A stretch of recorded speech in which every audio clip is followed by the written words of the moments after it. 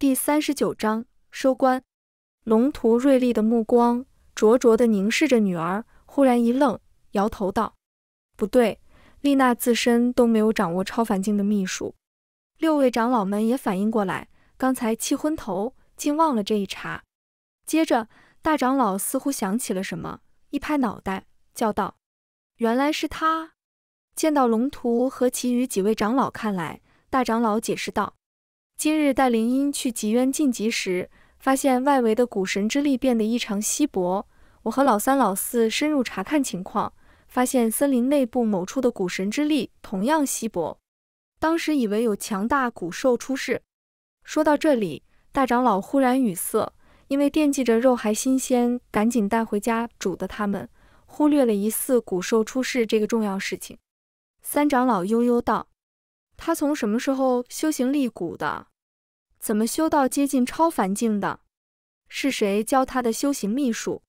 三连问，问的众长老心里酸味翻涌，羡慕嫉妒到了极点。就连龙图也忍不住说道：“狂暴，距离超凡只差一线了。”在场只有大长老能短暂的施展狂暴，但时效很短。大长老喃喃道：“他修了多久啊？”修行多久达到这个境界的？不会和灵音一样吧？不会和灵音一样吧？包括族长龙图在内，众人看向大长老，就像看疯子。和情报提及的一样，他真的会蛊术，但又不一样。雍州时，他和姬玄公子元双小姐交手时，蛊术平平，甚至不如四品。握着单筒望远镜的葛文轩看到这一幕，俊秀英气的眉毛紧皱。他一时间竟分不清许七安在雍州时刻意隐瞒了修为，还是近期才有所突破。若是前者，说明此子心机之深沉，让人悚然；若是后者，说明此子修为进展之快，让人不寒而栗。如果雍州时的情报无误，那他的长进也太快了。这样的话，情报就变得没有意义了。葛文轩眉头险些皱成川字，一个完美的陷阱。一个妥善的计划需要准确的情报做支撑，像许七安这样的根本无法徐徐图之，因为随时都会过时。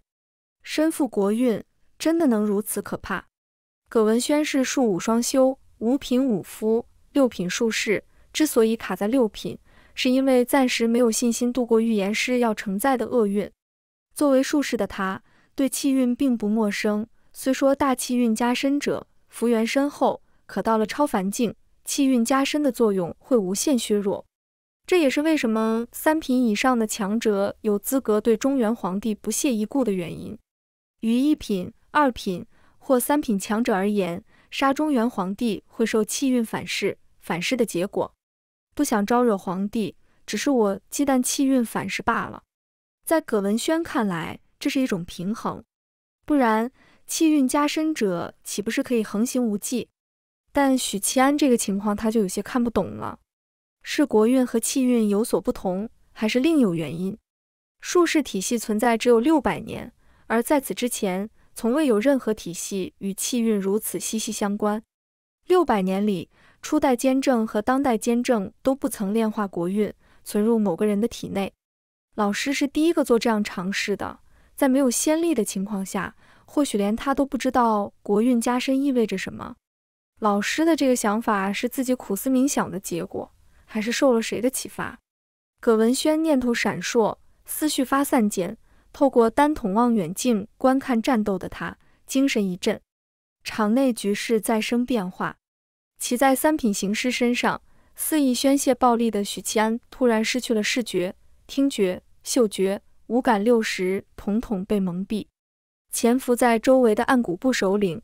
对许七安施展了暗谷部的高品级手段蒙蔽，砰！抓住机会，游师操纵傀儡以头撞头，两人额头狠狠撞击。移星换斗的加持下，许七安的危机预感没有奏效，因此没能提前预知到暗谷的操作以及底下行尸的攻击。行尸傀儡的额骨应声开裂，而许七安瞳孔在刹那间空洞，短暂丧失意志。大脑一片空白，他整个人猛地朝后仰去，额头暗金色的皮肤出现细密的裂纹。游师没有眩晕，死人怎么可能眩晕？趁现在，他特有的嘶哑嗓音大吼道：“他们轻敌了！虽然影子、纯烟不出手，栾玉和拔记辅助的计划是为了先试探这小子的深浅，但轻敌就是轻敌了。这小子不是一般的三品，他能在瞬间爆发出三品大圆满的战力，这直接打垮了自己操纵的行尸阵。几位首领同样意识到了这个问题。”在游狮吼出声之前，便已经各自行动起来。许七安身后的阴影里跳出一个脸色苍白、似乎常年不接触阳光的中年男子。他灵活地攀附到这尊金刚身躯的背上，至刚至阳的火焰灼烧着他的身躯，仿佛只是烧到一层虚幻阴影，没有实物。暗谷部的高位格防御手段：阴影。影子袖子里划出一把微微弯曲、形似钩子的匕首。通体漆黑，似玉非玉，似铁非铁。这是暗谷部历代首领相传的绝世神兵——蝎子钩。此物专破武夫肉身。山海关战役中，影子曾经凭借这把神兵，配合暗谷擅长偷袭的特点，险些杀掉一位佛门金刚。当蝎子钩在许七安额头凿出刺目火星，让细密的裂纹扩大，疼痛让许七安眼里迸发出亮光。强行从眩晕中挣脱，狂奔中的杏眼美人唇烟停下脚步，张嘴发出一道无声的尖笑。许七安如遭雷击，逐渐恢复焦距的瞳孔又呈现出空洞和涣散。心骨的操纵术，震荡元神，强行控制，这只能维持一秒不到。对于天生此刻的影子来说，这便是稍纵即逝的胜机。当当当。蝎子钩在暗金色的额头凿出绵密的火星，噗的声音里，微微弯曲的匕首刺穿许七安的额骨，刺入大脑，狠狠搅拌。见到这一幕，包括游师在内的几位首领眼睛一亮，仿佛看到了结局。即使对如今的许七安来说，这样的伤害也足以称为重创。他的大脑被破坏了，但元神却彻底清醒了。似乎料到他会在这样的伤害中恢复神智，栾玉恰好御风而来，薄纱长裙飞舞，他把自己送入许七安怀里，修长藕臂勾住他的脖颈，双眸含情脉脉，半撒娇半哀求道：“不要，魅惑！这是魅力加成的升级版，化被动技能为主动。”许七安的杀意和怒意烟消云散，痴痴地望着近在咫尺的绝美容颜。心神迷醉，栾玉嘴角一挑，扬起尖翘的下巴，含住他的嘴唇，把子骨和催情气体渡入他体内。下一刻，许七安暗金色的皮肤浮现一层嫣红，裤裆里帐篷高高支起。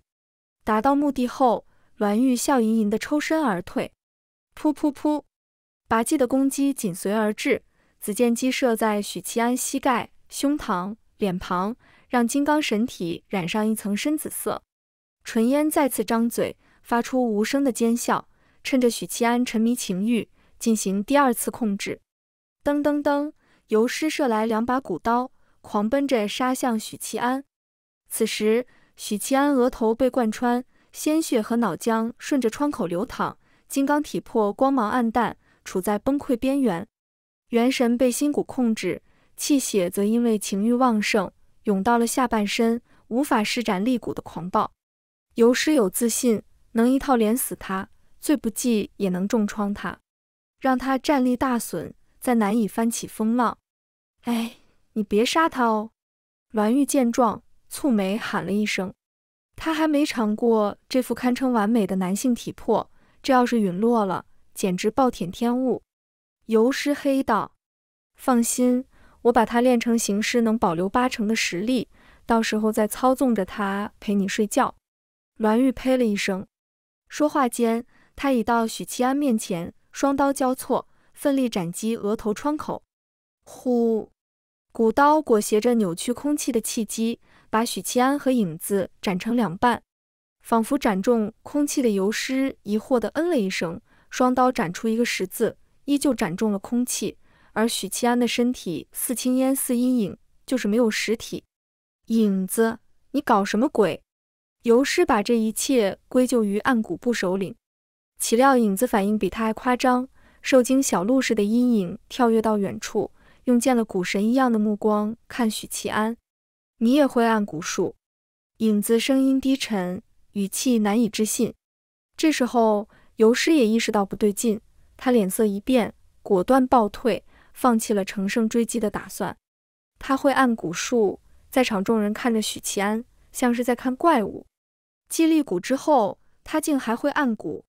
远处观战的龙图和六位长老面面相觑，说不出话来。木南之如释重负。俯身抱起白姬，一边摸一边安慰：“乖，就骑你一小会儿，哭成这样。”白姬哭唧唧地说：“我的腰好痛。”木南之随口安慰了几句，便把心神留在许七安身上。战斗并未结束，希望他能想办法逃走。不可能，这不可能！栾玉连连摇头。古族史上确实有不少同修两种蛊术的天才，但无一例外。这些人里没人能踏入超凡领域，这些都不是重点，重点是一个中原人如何修行立骨和暗骨，并且修到这等境界。在他看来，荒诞程度就好比北方妖蛮推着火炮和床弩，持着军弩和火铳，是儒生的能力。纯烟眯起杏眼，试探道：“儒家六品，儒生，该境界能把敌人的手段学到手，然后用笔写在纸上。”儒生的核心能力就是学习。栾玉摇头，他若是儒家弟子，我的魅惑根本不会奏效。思考无果的他们，又把目光投向许七安。我真是嗨到不行。许七安用指头戳了戳额头的窗口，笑容狰狞。他得承认，古族的首领们配合默契，有袭杀，有强控，确实能轻易杀死三品境的武夫。这还只是五位首领。要再加上天蛊婆婆和龙图，围杀一个二品武夫都不在话下。当然，前提是二品武夫死战不退。刚才是浮屠宝塔内的大智慧法香唤醒了他的神智，让他得以清醒。但其实，就算塔林老和尚袖手旁观，许七安也打算利用阴影跳跃脱离包围。古族首领们很强，可惜他们引以为傲的手段对自己难以奏效。这就是许七安敢一挑五的底气。我们得改变对策了。纯烟深吸一口气，传音给同伴：影子阴影跳跃和化身阴影时无法攻击，所以他一旦阴影跳跃，你就立刻把他逼出来，然后栾玉魅惑与我的操纵配合，强行控制他。拔记，你立刻释放毒箭，换成麻痹肉身的毒素。影子，你趁机袭杀，就如同刚才一样。游师，你负责牵制，配合影子袭杀。话音落下，他看见许七安融入阴影，消失不见。影子，纯烟大喊：“不用他提醒。”许七安融入阴影的瞬间，影子往前一扑，消失不见。两道虚幻的阴影在地面追逐纠缠，随后双双从阴影里摔出来。当一个以搏杀能力著称的武夫。掌控了暗谷的阴影跳跃，这是让任何体系的高手光是想一想就毛骨悚然、脊背发寒的事。而暗谷的短距离跳跃速度之快，更胜过术士的传送阵，是真正的防不胜防，且无法阻止。只有暗谷才能对付暗谷。见到两人从影子里摔出来，纯烟当即张嘴，发出无声的，但对元神来说极为尖锐的笑声。栾玉乘着风。纱裙飞舞，犹如绝世妖姬，主动迎向许七安。他张开怀抱，做乳燕头鳞状，同时故作楚楚可怜姿态，妙目泪光盈盈，委屈道：“不要伤害人家。”魅惑对付武夫可谓无往不利。他看到这个男人望着自己的眼神变得痴迷，趁着这个机会。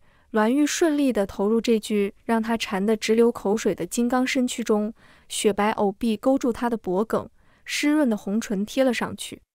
呼，他喝出一口甜腻芬芳的气息，并将十几条子骨送入对方口中。这时，栾玉听见这个年轻人低声说道：“你对所有男人都这样吗？”这栾玉瞳孔剧烈收缩，下一刻，男人一口气吐进他嘴里。这股气息滚烫热辣，烧心的很。啊！栾玉捂着小腹，健康小麦色的脸庞凸起黑色的青筋，口中溢出黑色的鲜血。情蛊部以催情、魅惑、迷乱神智为主，肉身不是情蛊师的强项。许七安的毒虽然没有拔气的猛烈，但对付一个弱智女流足够了。他张开双臂，给了妖娆妩媚的骚或一个熊抱，咔嚓，栾玉身体骨头瞬间断了十几根。你的口气催情不了我，我的口气却能毒你半死。许七安心里嘀咕一声。栾玉的状态让场内场外的人愣住了，无往不利的魅惑失去了作用，并被许七安以不知名的手段重创。黑色青筋遍布秀美脸蛋，口鼻沁出黑血。拔姬脸色陡然大变，低吼道：“毒蛊，是毒蛊！”他一连吼了好几遍。似乎只有这样才能宣泄内心的惊愕。许七安竟然还是毒蛊师。龙图扭头看向六位长老，却发现他们眼里的东西和自己是一样的。萌，一个中原人竟然会三种蛊术，且都修到极高深的境界。难道是当年魏渊俘虏了蛊族的高手，从他们口中套取出的秘术？龙图觉得自己猜到了真相。立蛊部的他们尚有闲暇去震惊和思考三种蛊术的来源，场内的首领们就没有那个闲情逸致了。尽管他们内心的震撼丝毫不弱于旁观者，但身在局中无暇他顾，战胜敌人摆在第一位。再一次，黑暗替代光明，许七安又一次中了暗谷的蒙蔽，五感六识尽数屏蔽。一团阴影悄无声息地浮现，手里握着微微弯曲的匕首。奋力刺暗金色的眉心，游师双手各持握一把古刀，埋敌几倍，三两步便奔到许七安面前，双刀交错斩向脖颈。拔济已经知道毒素无用，但还是配合的吐出三道墨绿色毒箭。为了确保三位同伴能准确命中敌人，纯烟又一次奸笑，以新蛊术施加控制。三位首领的攻击确实命中了敌人。但那只是一道没有实体的阴影。三重攻击下，阴影如烟雾般扭曲，接着一个跳跃，消失在影子和游尸面前。影子纵身一扑，投入阴影，追逐而去。纯烟速退！游师大吼道。有着一双漂亮大眼睛的纯烟脸色微变，他难以接受自己操纵元神的能力失效，但在游师的警告下。经验丰富的他立刻腾跃而起，脱离地面，这样能阻止敌人从自己的影子里钻出。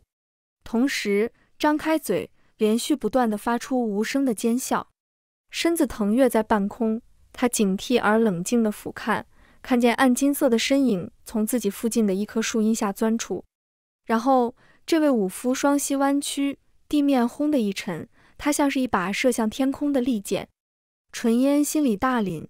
不停地张嘴发出尖笑，这一次尖笑没有震荡元神，而是激发了许七安内心温柔和怜香惜玉的一面。心蛊的另一种手段，共情。另外，他临阵磨枪般的召唤方圆数十里的兽类。之前几次不用共情，是因为震荡元神，强行控制效果更好，能为队友创造优势。而共情相对没有那么强力。它能激发人性中本就存在的情感，但如果做得太过分，对方会立刻察觉不对劲，从而挣脱共情状态。比如，让一个意志力坚定的武夫在生死战中萌生死志，或变得消极，这类共情多半会失败。眼下选择的怜香惜玉，性质上要柔和很多，主导权在对方身上。另外，共情并非单方面施加，而是双方情感同步。许七安要是萌生死志，他也就萌生死志。之前的战斗中，他若是强行让许七安萌生死志，恐怕自己会第一个迫不及待地冲上去和许七安拼命求死。共情之下，许七安眉眼顿时柔和起来，柔声道：“放心，我会轻轻的，不会弄疼你。姑娘还是第一次吗？”纯烟羞涩的点头：“嗯。”几秒后。两人同时从共情状态中挣脱，这肯定不对劲啊！打着打着就聊到那方面了，违和感太强，比萌生死志还要强。共情失败，他的怜香惜玉为什么是这样的？纯烟眼里闪过绝望。此时此刻，新古诗的弊端尽显无疑。不擅长厮杀战斗的他，面对一位超凡武夫的袭击，无法抵抗，无法躲藏，逃却连速度都不够。轰！地面塌陷的声音再次响起。游师也把自己化作利剑追击，试图阻止他靠近同伴。但在下一刻，无边无际的黑暗笼罩了他。游师也体会到了许七安不久前的感受，而影子因为刚刚施展过蒙蔽，短时间内无法连续不断的施展，只能无奈地看着这中原小子缠上纯烟。啪啪啪！回应许七安的是一套熟悉的连招，化境以上的武夫才能施展的连招。他这才发现，或许是为了弥补个体战力不足，这位漂亮的新古师，同时也是一位四品巅峰的武者。许七安抓住杏眼美人的双手腕，把一双手反拧在后背。嘶嘶，纯烟耳垂上的两条赤色小蛇中心护主，扑咬男人的手臂。许七安一眼看出，此蛇剧毒。两条细蛇各自咬住许七安大臂，哆哆两声。小蛇痛苦地蜷缩起来，似乎崩到了牙。你，纯烟又大又圆的杏眼里布满愠怒和惊慌，他张开粉色的小嘴，就要发出无声尖笑。许七安朝他脸庞喷出浓度极高的催情气体，以及一条情骨子骨，黑色细长的子骨瞬间进入纯烟口中，消失不见。也就几秒的功夫，他的血液开始沸腾，皮肤染上嫣红。身体里的情欲被点燃，灼烧着理智。情蛊，他也是情蛊师。纯烟心里闪过难以置信的念头。他为数不多的理智到此彻底崩溃，皮肤嫣红，脸颊滚烫，女的双腿不自觉的摩擦。蒙蔽的时效极短，游师很快恢复感知力，持着古刀从侧方杀了过来，凶猛的气势仿佛是要把这对狗男女一起斩杀。他是故意的。借杀意和刀气助他苏醒，果然受到外界的刺激后，唇烟娇躯一颤，迷离的眼眸恢复清明。但是晚了，当古刀狠狠看在许七安头颅，砍出一串火星。他没有躲避的意思，只是在古刀砍中时，用力给了纯烟一个熊抱。咔嚓咔嚓，女性的身躯似乎都是一样的柔软，骨头也是一样的脆弱。许七安随手抛下骨头断了十几根、奸情毒半身的纯烟，傲立在半空，审视着暗谷、尸骨、毒骨三位首领，狞笑道：“该你们了。”三位首领心里没来由的一寒，深吸一口气，他朝着下方三人喷出一口催情气体。除了行尸外，拔记和影子的裤裆里帐篷高高支起，眼里燃烧着情欲，但很快平复。这毕竟没有达到超凡境界，威力相对差了一些。许七安的手段自然不止于此，他旋即消失在半空。拔记，小心脚下！影子大声喝道。拔记心领神会，朝侧方腾跃。因为有了纯烟的前车之鉴，他没敢御空。许七安果然从他影子里钻了出来。拔记不慌不忙地从腰间的兽皮小袋里抓出一把黑色的药丸。塞入最中，囫囵吞下，他体表顿时冒出黑光。他拔记双掌合拍，伴随着响声的是一阵阵肉眼可见的黑烟。黑烟迅速吞没了许七安，宛如枯骨之躯般依附在他皮肤表层。紧接着，疼痛感传来。果然，远距离的毒液喷射和近距离接触的毒层次完全不同。许七安心里嘀咕一声。拔记的毒比他高一层，他无法用毒体消化，想把我逼退。许七安脑后火环一炸，让黑烟如幕布般抖动，蒸发过半，稀薄了几分。他张嘴发出无声的尖笑，让身后赶来援救的游师和影子身子一僵。抓住这个间隙，许七安强行扛着剧毒的黑烟，三两步奔到拔记面前，手脚并用，身躯各处关节化为武器。啪啪啪，肉搏持续三秒不到，拔记便被撕掉双臂、双腿。而许七安付出的代价是半边身子化为黑紫色，金刚体魄被毒素腐蚀，产生严重的眩晕，并伴随呕吐。换成除龙图外的其他首领，四肢被暴力扯断，便是半废了。但毒体不同，毒体拥有另类的再生能力。暂时废掉拔技后，就只剩下暗骨的影子和游尸操纵的形式。到了这一步，已经非常简单。拥有金刚身体、五夫不死之躯以及七绝骨手段的许七安，哪怕不用浮屠宝塔对付一具三品境的行尸，一个擅长暗杀的暗蛊师，局面如何不言而喻。无边无际的黑暗再次笼罩游尸，许七安对他施展了蒙蔽。同一时间，许七安的五感六识也被影子蒙蔽，他看不到、听不到游尸的位置。但游尸也分辨不出他的方位。咻！一道暗金色的刀光从他怀中冲出，绕着行尸接连劈砍，发出叮叮叮的脆响。他借助太平刀的指引，把握住了游尸的位置。狂暴，肌肉一块块暴起，身躯于瞬间膨胀近一倍。许七安听声辨位，抢占先机，疾风骤雨般的攻击落在行尸身上。当当当！这个过程中，他的眉心不停地受到影子的凿击，影子很快放弃了，他融入阴影，卷着鸾玉纯烟，变成人棍的拔技离开，去往天谷婆婆所在之处。